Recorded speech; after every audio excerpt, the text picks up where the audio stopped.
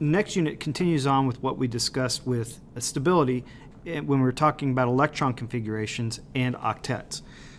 We saw that in the previous unit when we talked about the configuration for our noble gases that we had an octet where we had an S2P6 configuration. The exception was for helium. And we saw that all the configurations, as we can see, end in with the valence shell having a S2P6 configuration. And this is considered to be the most stable configuration for an element to have. Elements, then, that are not noble gases are going to react and form chemical bonds with other elements so that they can obtain this configuration. So we're going to gain electrons so that we can get a configuration that looks like a noble gas, or we're going to lose electrons that can so that an atom can look like it has a noble gas configuration.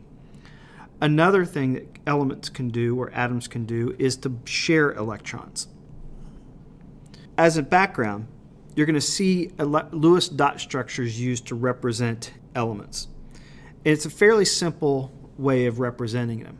You see that we have our electron configuration of lithium as 1s2, 2s1. The valence electrons are the ones in the highest energy level, and Lewis dot structures represent these highest energy level electrons as dots. So each dot represents one electron. Beryllium has two valence electrons, two dots. Boron has three valence electrons, three dots. And we really don't make a distinction between the s and the p electrons as we go along. And we see we as we work across, we simply go one electron on each side to represent the first four, and then we start pairing them up, and we get to neon with a total of eight valence electrons, or the octet. Reason for the Lewis structures representing only those electrons is because those are the most important electrons.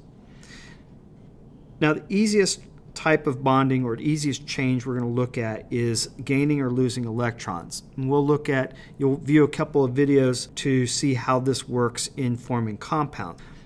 But when metals lose electrons, and all metals are going to lose electrons, they're going to form positive ions that we call cations. And this is going to happen when they bond with nonmetals. Nonmetals then are going to be gaining electrons from those metals. And we will call these a negative ion or an anion. The Lewis structures can show us that we have a pattern, and within a same group, every element is going to have a Lewis structure that looks the same.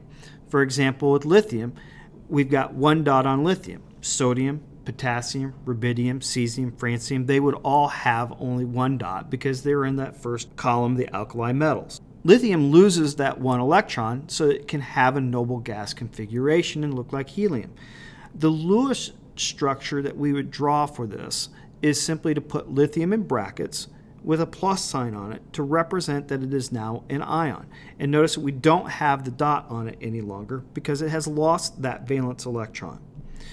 So beryllium is going to form a plus 2, boron will form a plus 3, and you see here, in each case, we put them in brackets with the charge of it to the upper right to represent how many electrons they've lost. With nitrogen, we see that it's going to gain 3 electrons, and we now put the 8 electrons around the nitrogen to represent that it has that full octet by gaining the electrons, and it has a 3 minus charge. We see the same thing with oxygen forming an octet by gaining 2 electrons, and fluorine by gaining an electron to get its octet.